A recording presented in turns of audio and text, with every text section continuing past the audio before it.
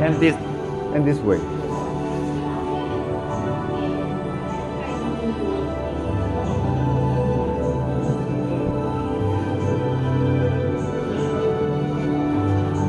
Like this.